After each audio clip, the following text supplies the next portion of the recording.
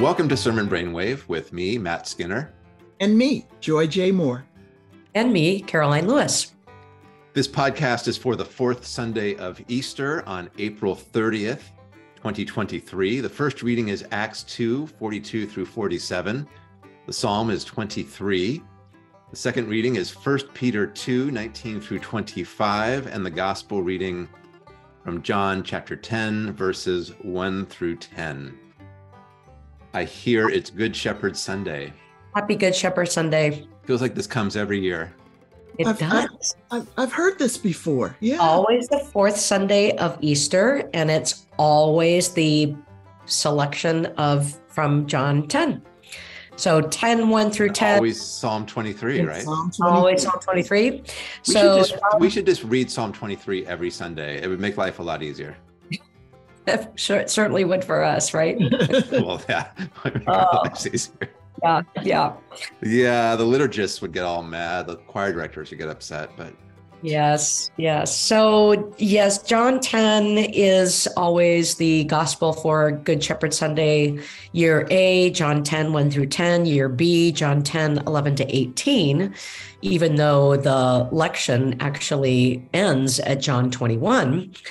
Uh, John 10, 21, and then John 10, 22 to 30, which has nothing to do with John 10, 1 through 21, but it has sheep in it. Therefore, ergo, it is used for good you have shepherd. strong opinions about this. I- I- Well, here's my strong opinion, which which many people already know, but it it I I'm on a mission to uh to re re-engage chapter 10 with chapter 9 and of Mhm. course uh, that was that was what I did with my dissertation but uh, nobody should buy that book by the way don't buy that book uh, but John 10, 1 to 10, the thing is, is that of course, 9, 1 through 1021 is all one unit. And you really miss the meaning and the significance of this image field of Jesus being the gate and the door and the or the gate, the door, and the shepherd without connecting it back to the healing of the man born blind.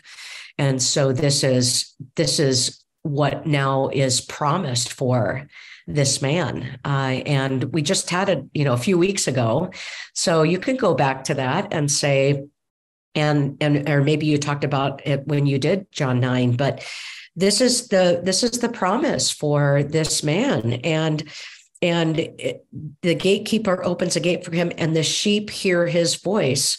That's exactly what the blind man did. He heard jesus voice say go wash in the pool of siloam. And so this and then i really do like adding john 19 10 19 through 21 because the question there is trying to figure out who jesus is and then they think he's possessed by some demons and then the question is why listen to him well why listen to him Look what happened with the man born blind. Look what happened with the man ill for 38 years.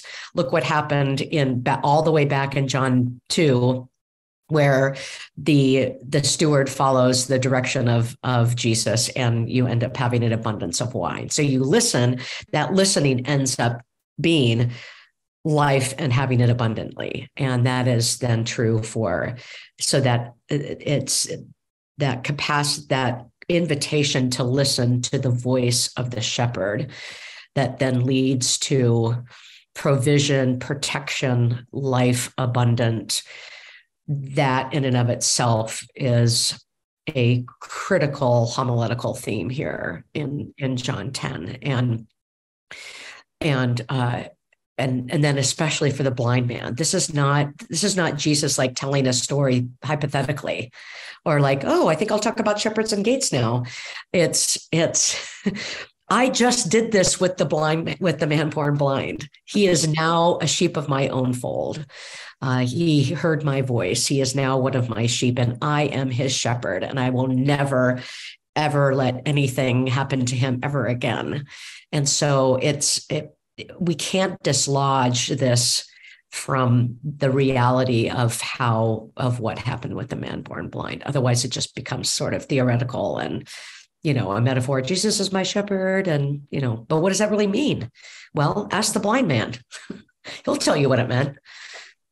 Okay, that's my little I, I, love it. I love it, and you've con- you've convicted me uh, on, on this, Karoline. And and and you know when I talk about Matthew, uh, um, when we talk about um, the Sermon on the Mount, I always go back to um, uh, chapter four, um, and and and you've shown me that that's exactly what's happening here in John. And what what I love about your weaving together and call, challenging us to do that in our preaching is when we when we like these little pieces that make you know for cute metaphors or or or, or enchanting stories and we take them out of how they actually impact people's lives that's how people doubt. You know that that's how people say i can't i just can't go there. You know that's great that somebody 2000 years ago or i don't know 50 years ago had some great event happen in their lives but I haven't seen God show up and show out in my lifetime. I haven't seen God show out and show out in my community. I haven't seen God show up and show out in, anywhere in a zip code that I know. And, and so I think it's the job of the preacher to be able to say, this is why these words matter and so we let off talking about teasingly reading um, the 23rd Psalm uh, every week. But the question I asked as I'm in this questioning season of Easter, the question I asked of the 23rd Psalm is why is it powerful? Why does it work so much? And as the commentary says, we don't we don't know where it is in history. And yet when you do link it to Jesus' words about the shepherd, when you do link it to the reality that their industry then one of those industries with that, that they were sheep herders. And all of a sudden, what that task is matters. Well, how do we preach these wonderful little metaphors so that we show that they are connected to people's lives that matter? And, mm-hmm. and, and that's what linking nine and 10, whether we're doing it forward a few weeks ago or whether we're doing it now backwards on the Good Shepherd Sunday. And, and I just want to get on your bandwagon, Karoline, and, and, and argue for all of our listeners to make sure that they don't just tell great stories, but they show, tell stories of a great God showing up and showing out. Yeah. The blind man is basically saying, I am not a metaphor. Yes. Don't, and don't, you know, don't, uh, yeah, I'm not, I'm, I'm I'm not. Yeah, I'll just say that I'm not yeah. a metaphor. Yeah. And that, he healed that, the blind. He raised the dead. He you know caused the lame to walk. No, those aren't metaphors. Yeah, he right. Healed the blind. yeah, yeah, and I think that's where you know, and actually, this portion, of course, is less about Jesus as the shepherd. Uh, well, you have Jesus as the shepherd, but the good shepherd comes, you know, in chapter in 11 through 18 or 11 through 21 but but also uh, i just i would also challenge the preacher to think what does it mean to call jesus as the door or the gate it's door but it's translated gate here because i guess sheep go to sheep go through gates rather than doors. And uh, and we don't have any door hymns gate hymns we don't have as many so that's why it's good shepherd sunday instead of door sunday but but what what does that mean to call that Jesus is your gate? This is one of the I am statements. I am the gate. I am the door.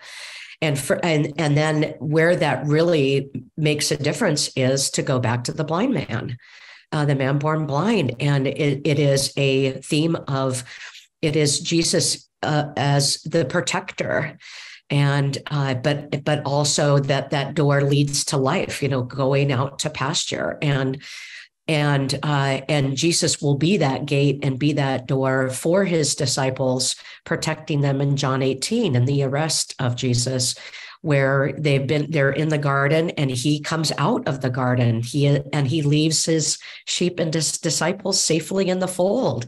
And so now that's the promise for the man born blind. He will be protected now. He will have abundant life now. Jesus will lay down his life for the good shepherd or for the blind man just as he does all of his disciples and and protect them from from the thieves and the bandits and the wolves and the and the bears cohort, the bears and the cohort, yeah, lions and tigers and bears, and the cohort of Roman soldiers that's standing outside the garden.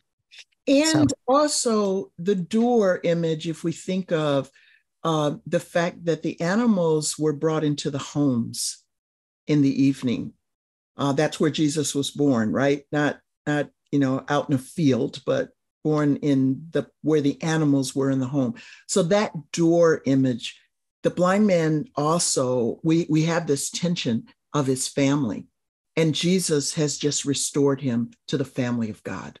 And Jesus does that with so many others um, when he heals them and when when he when he talks with them when he touches them when he feeds them what he brings them back to the table of the family and and so that there's another door that is is, is we go out and we come back home mm-hmm.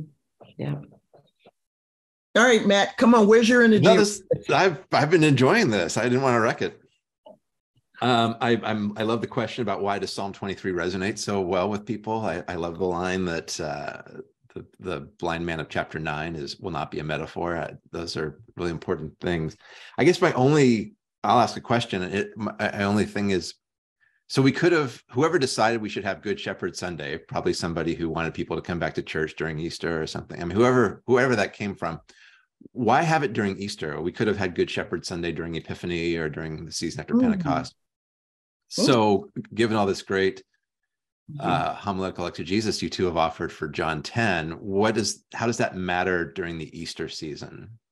Mm. Well, Karoline probably has a better answer for this, but I'm going to go with what Karoline was saying earlier, uh, just in terms of tying together um, the life abundant promise of the resurrection.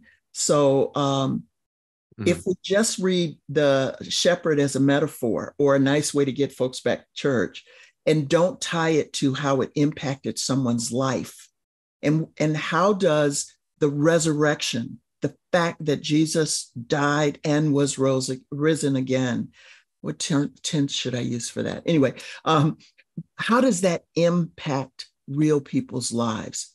And then mm-hmm. that becomes a question how does our community gathering once a week impact the community lives of the people in the zip code of our congregation.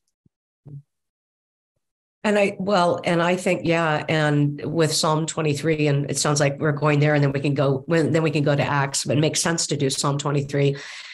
And it's, but it, but you think about the way in which the Psalm gives, uh, gives language to that abundance, right? My cup overflows and surely, and surely goodness and mercy will follow me the rest of my days and how that is again the promise for the blind man that goodness and mercy will follow this this man for the rest of his life now and so how does that psalm land on as, as you said joy on him and what uh, what he, these are the promises for him? Now i think also too with with the why good shepherd sunday I, that life abundantly in john 10 10 but also to take us back to some of the conversations that we've had this Easter season, to take us back to chapter three, that this man, this is this man has been born again, born anew, born from above and that that's a resurrection promise that uh, that how we are born anew uh, and that and and then how do we you know how do we then live that life but i think it's an i think there's a an allusion back to that uh that in john 3 as well here that that it fits yeah, but I think it's a great question, Matt. It fits for Easter in a lot of different ways. And it's an important question to ask just in general. How do texts sound differently in different church mm-hmm. seasons, right? And especially a text like this, which is used often for funerals. And uh, but just to call attention to, and I think particularly here, uh, what how would you know how would the formerly blind man hear these promises now that that there really are for him, that he's really experienced it because he's been made a sheep. So that it's not just you know not again not just a plaque I'm going to put Psalm 23 on a plaque and hang it on my, you know, in my study or in my living room. That, yeah, how do you can get people to uh, experience it in their actual bodies and souls. Be powerful. The, the transformation is evident. Mm-hmm. Yeah. If we jump, if we jump to Acts, um, I've got a song running in my head that I've missed sang. Um, I, I've got a title, no question. I got a title. Hopefully devoted to you. Oh, yeah. yeah. We lost her last year too. Yeah. Isn't that Olivia Newton-John? Yeah, it's Olivia Newton-John from from Grease. And um, but that just started to ring. And I and I I love the songs in there and I, I loved her voice and uh, was sorry for her passing. But uh, as as I read this text, it always strikes me in terms of they devoted themselves to the apostles' teaching. And what it was was activity so, because they heard these words, because they understood these stories, because they recognized these promises, whether they're parables or metaphors, etc., the result was fellowship, breaking of bread, and prayers, which I see as um, not just prayers for me personally, but prayers public for the world that is in need of the abundant life that the Savior has offered to tie it back to our other scriptures. So mm-hmm. um, I, I just I appreciate this second chapter of Acts because of the activity that is happening. Um, it, it, that is a result of that, and particularly the fact that it is the fellowship of all those who gather in the name of Jesus. Mm-hmm. I love that this podcast is we're fully embracing our Gen X identity now with Olivia Newton John in Grease, and we, we can start to do this every week. Um, I'm sure our listeners will Guilty. Really appreciate that. We have a lot of shared cultural connections among the three of us. But um, anyway, it's uh, it's a it's a real pleasant coincidence that this passage falls on Good Shepherd Sunday because it's also this is what this is what a secure sheep pen looks like. Mm. Uh, mm-hmm. This is what the the kind of sustenance that Psalm 23 looks like. It's not necessarily God showing up with a picnic basket on your doorstep miraculously, but it's a community that where people where people take care of each other, where people actively pursue knowledge about God and opportunities to serve God through serving each other. That um, this becomes a model, even though people always say, well, this only happens in Acts 2 and Acts 4. There are other places in Acts where people go out of their way to offer costly hospitality to other people. Um, this is part of how the book of Acts imagines what Christian faith will do to you, what happens when you when you become a follower of the resurrected Christ. And so in that regard, it's how Christ operates as a shepherd within a community. Um, Jesus is not mentioned here. We're told that God, the Lord, adds to the number of those who are being saved. But in terms of how the community functions, this is a this is an offshoot of Pentecost. The the commentary talks about that this week. This is mm-hmm. this is as much of the Pentecost story as is the the tongues of fire and the Joel quotation and Peter's sermon and all the baptisms. It's the community that the Spirit creates. And so uh, that's fine, right? Easter, you can't talk about Easter without talking about Pentecost, or you shouldn't talk about Easter without acknowledging that Pentecost is you can't dissociate those those those events in the event of Jesus. And so, you know, to start talking about what does that look like? Well, how do we bear witness to this Christ, to this shepherd today? We do it partly in our how we take care of ourselves. I, I worry about churches that are so interested in in reaching out and finding new ways to be attractive to the community that they haven't first taken care of their own internal dynamics and you if you invite people into a toxic community they uh, see uh, they're not going to want to come back um, and not just even a toxic one but one where people don't display this kind of self-giving love which is hard yeah yeah it's easier when, to hire a consultant when a visitor can walk into a church and walk through crowds of people and not be greeted once, that visitor is not likely to return again. Yeah. not that I've ever had that happen to me. Yes, but, yeah. I have a great story about that, but that's for another podcast. that's for another podcast. The the the other thing to note, and I'm going to get a little nerdy on us uh, right now, but uh, is just to remember that um, the first writings were the epistles. The letters were written first, and and so when you think of what it is that is being asked for, and particularly when we talk about Galatians and Corinthians, what is being asked for in the community where uh, the different groups are called together in the name of Jesus. And I made reference to this uh, a week or so ago. Um, but also, um, this Acts picture is exactly what was being expected in those epistles. And, and, and so what happened here that is described was prescribed in light of what happened even before those stories were written is what i'm trying to trying to get at yeah. so so yeah.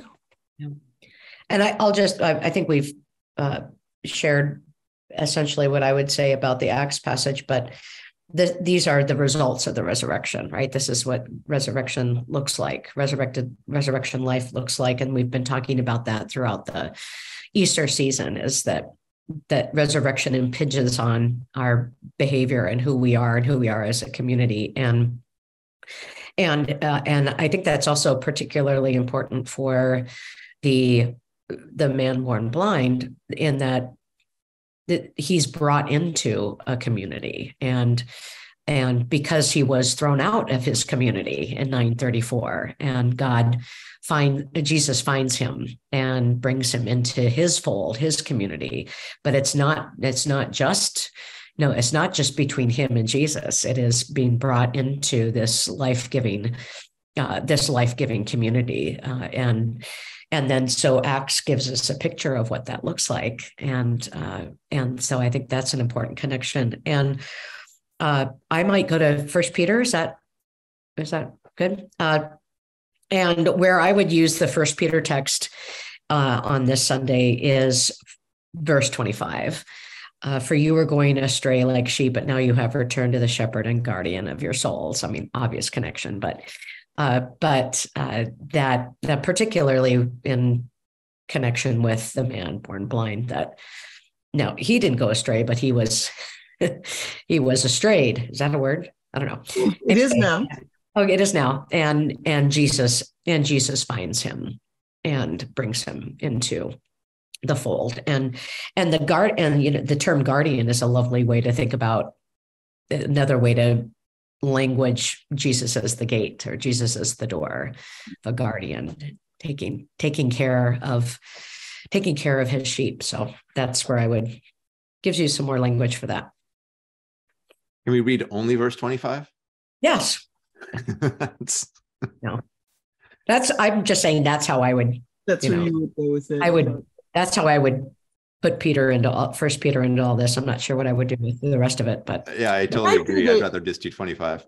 And I do the I do the same thing. I, I did focus on what is unjust suffering, but in light of the man born blind. I mean, um, you know, we remember that story begins off. Well, who messed up that he got to be blind? You know, this is somebody's fault. It, you know, and and Jesus says, well, actually not. Yeah, and uh, and and so this this whole, this whole context of what is unjust suffering. Um, and and in in when i when i highlighted it what i was thinking is not not how am i experiencing suffering unjustly but being challenged to ask god where am i the cause of someone else's suffering unjustly? Because that's what that scene is you know, the right question. We've been taught somebody must have done. So tell us, who do we blame for this? And that question in and of itself was unjust. Mm-hmm. Yeah, the I, I, totally am on board with what you both are doing with the passage of trying to find ways to to work with it. Um, I, what our listeners may or may not know is that the you here starting in verse 19 and, is, and onward is introduced in verse 18 these are enslaved people it's and so the that's mm-hmm. who the mm-hmm. author is addressing here and and saying basically accept the authority of your of your masters of your lords whether they're kind to you or whether they're cruel to you because that's what jesus did yeah so there's can't unpack this in a single sermon but that's it's one of the reasons why this is i think a really difficult passage given that we have no idea who the author kind of is? Is this an author who's really even truly sympathetic to that experience? Or is this an author saying, can't be that bad? Come on. Yeah. Suck it up like Jesus did. We, we just we'll never know the answer to that entirely, but it's it's a way in which I think a passage like this, whatever hits historical context, in our own context, how we also make sure we don't um, fetishize or glamorize suffering mm-hmm. as somehow redemptive in and of itself or good in and of itself, which is the message I know a lot of people hear sometimes um, in churches. Um, which then, of course, has the the ironic, tragically ironic twist of of making 25 kind of verse 25 the opposite of what it's intended to be right it's it's now all of a sudden god is the one who um, not going to keep you safe and can't be trusted to do that so I really appreciate Matt. Um, whenever we are, are, are, running across these texts, you're calling us uh, to account to attentiveness to reading it in that context. Um, and I, I, I want to add the one of the things that uh, I see a lot in our culture is people who want to use this to talk about their own suffering. Um, and people who um, feel like they are losing power um, and and their response to whatever they feel is this loss is violence. It is to act against those uh, it is to cancel. It is and i know maybe we shouldn't let me say this today but i'm i'm uh, this is where that reading that you say matt frustrates me because um, when i look at what my ancestors have experienced and what they have dealt with. And out of a Christian accountability, they did not take action against their perpetrators. That becomes a more hopeful word for those who claim to be Christian and who want to carry a gun, who claim to be Christian and want to storm the steps of a capitol, who claim to be Christian and want to kidnap a governor, who claim to be Christian and want to cancel people. I just wonder what it would look like if everything that we've talked about these last couple of weeks and this this week in particular about extending the invitation for people to in the presence of their enemies to let God uh, uh, give them their sustenance for let to let the risen Christ offer them abundant life and not be seduced by the per, uh, the perishable gold and, and silver of this world and in that particular sense, I read First Peter as a warning for everybody who wants to say that I'm just going to go after my enemies. It's like, no.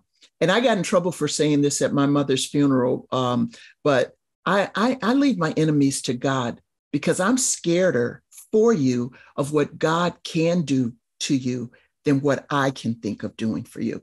Maybe that's not a good place for us to end. No, we don't have to end. Just, just we got to, we got people can just stop this podcast if they don't like it. Um, okay. no, I appreciate what you're saying. Well, I think what we're, I think what this conversation might be illustrating in some way is the challenge then of a preacher to allow those variety of perspectives, right? The problem, the, the one of the challenges of preaching is its monologue, but coming from somebody who's trying to speak to and behalf of a, a wider community. And the other challenge is that so many of our churches are so homogeneous that it's it, it's it, it's sometimes it's easy to know what what the perspective is that will get you handshakes and slaps on the back afterwards. And but it's to bring and I, I think back to what karoline said earlier about john 9 that the the man born blind there will not be made a, into a into a metaphor that and so this is where it's tough. And, and you two are the preaching experts but how does a sermon how does a preacher embody a variety of perspectives like that speaking about an experience that's not their own, wanting to stand up for justice. I mean, all of these things are very difficult to do uh, in 60 minutes, let alone in, in 12 to 20 minutes in a in a sermon. But I don't know if we're getting anywhere on this, but it's um don't if your if your response to first peter 2 is too simple or you you look at it and you think oh i know how to handle this then you probably haven't sat with it long enough might be one of the things that we're saying but or if what you're wanting to do is to make suffering that metaphor that is good, as you said, where we can't trust God, then you need to sit with the text longer because the, the text is consistent in being able to say that God is good and God provides our needs and get that that we are given an abundant life and that those who have been lost have been found, and that those who have been ostracized are brought home. Uh, and even in the presence of their enemies, they will be given abundant. And if if if you haven't wrestled as as I did when I first looked at the text, how am I the perpetrator of injustice? Rather than let me just complain about how I've been unjustly um, treated unjustly. Yeah. Maybe the church needs to ask, how are we the perpetrators? Mm-hmm. Oh, of course. Yeah. Thank you.